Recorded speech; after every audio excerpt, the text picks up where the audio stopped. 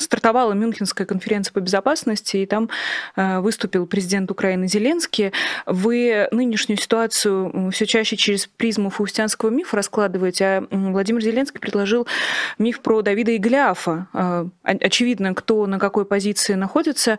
Э, приведу небольшую цитату. «Мы можем справиться так же, как Давид. У Голиафа нет шансов, но есть потенциал. Он пытается выторговать время, мы должны ускориться. Скорость — это то, от чего зависит жизнь». Э, удачное сравнение, как вам кажется? Голиаф и Давид или что за противостояние сейчас происходит, уже приближаясь к году этой совершенно чудовищной войны? Ну, не новое это противопоставление.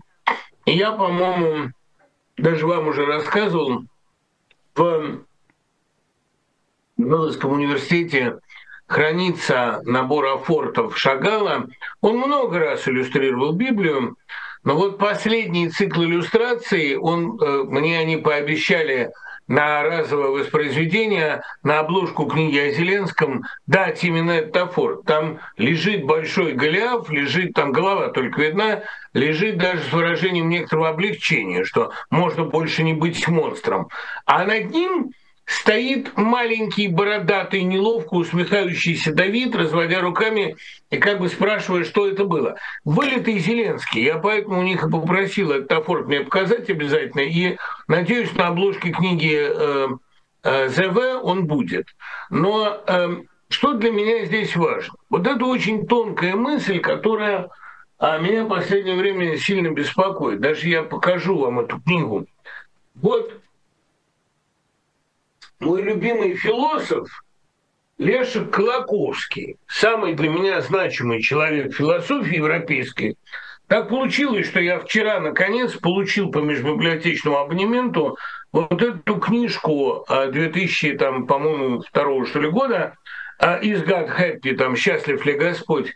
Это книга его религиозных эссе. Колоковский начинал как марксист, но пришел к религиозному а, объяснению истории. Для меня вот эта книжка драгоценна абсолютно, потому что она содержит все главные пророчества о текущем моменте. Особенно великая статья «Дьявол и политика» и не менее важная статья а, мои правильные взгляды на все, мои верные взгляды на все. Так вот, Колоковский выдвинул один тезис. Дьявол а, во времена просвещения добился известных успехов, отрицая сам себя, маскируясь, говоря, что его нету, делая вид, что политика – это результат экономики, что политика – результат материальных вещей. Под это дело он скрытно наворотил довольно много зла. А совершенно точно, что дьявол в 20 веке показал лицо. Мы живем во времена вторжения мифа в политику. Мы живем во времена, когда материалистические объяснения перестали работать. Потому что с точки зрения материализма уже Великая Французская революция показала, что материализм не работает. Людям дают свободу, они используют ее для того, чтобы смотреть на публичные казни и устраивать их в большом количестве, и устраивать оргии всякого рода.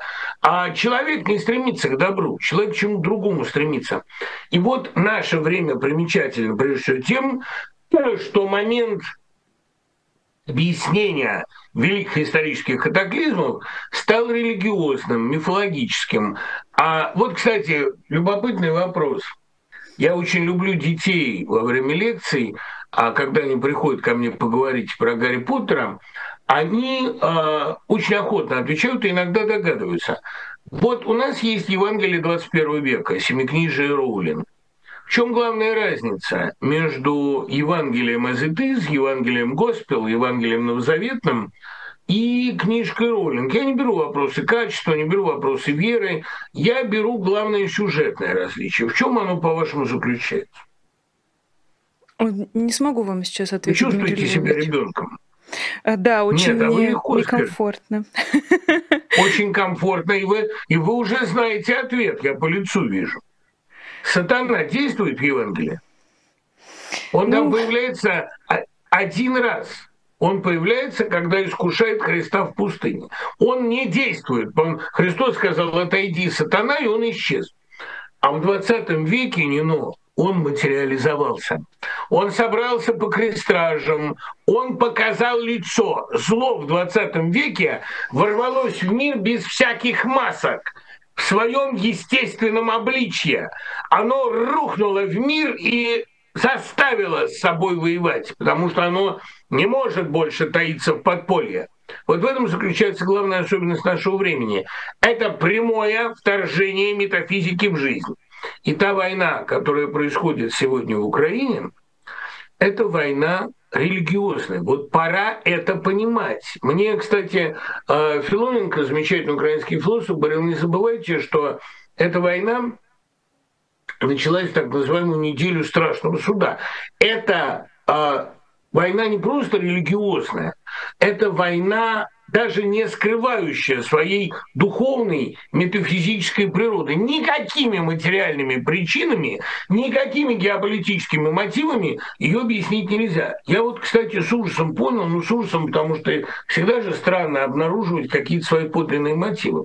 Я с ужасом понял, почему я взялся писать книгу о Зеленском. Я пытаюсь, от... ну не, не ради же конъюнктуры, понимаете, потому что писать сейчас книгу о Зеленском, значит очень сильно подставляться. Мы же не знаем, как повернуть события, эффектной точки у нас нет. Но я пытаюсь для себя отрефлексировать даже не тот, когда-то очень важный для меня факт, что э, страну возглавил комедийный артист который еще незадолго до этого на сцене квартала блистал с рискованными шучками. Это, конечно, важная для меня вещь, это оправдание творческой интеллигенции, это доказательство, что творческая интеллигенция может успешно возглавлять страну в глубоких кризисах. Это, безусловно, так.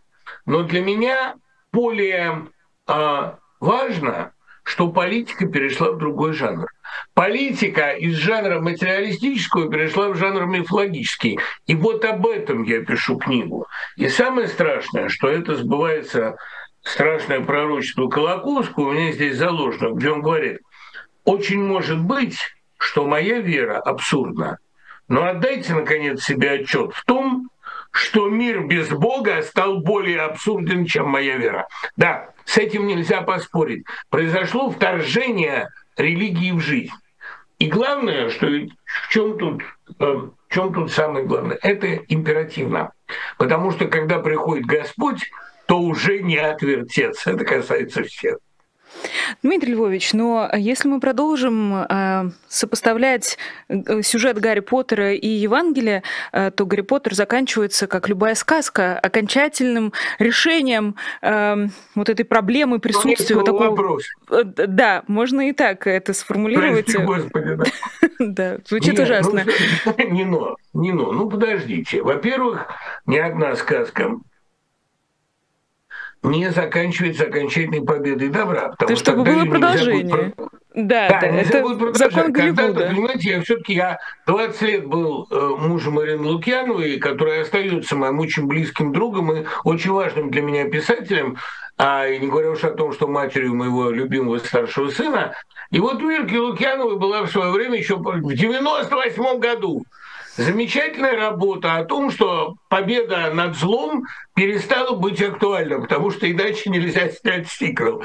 Это хорошая философская такая идея. Так вот, э, как вы помните, в 25 году мы получим новую книгу о Гарри Поттере, где он противостоит Лиффе, а, дочери Вальдеморта. Во всяком случае, я так понимаю, потому что ну, Роулинг столкнулась с необходимостью как-то объяснять новые страшные события европейской истории. Я уверен, что она до многого договорилась уже в «Фантастических тварях», а которые, судя по названию, должны рассказывать о российских политиках и где они обитают.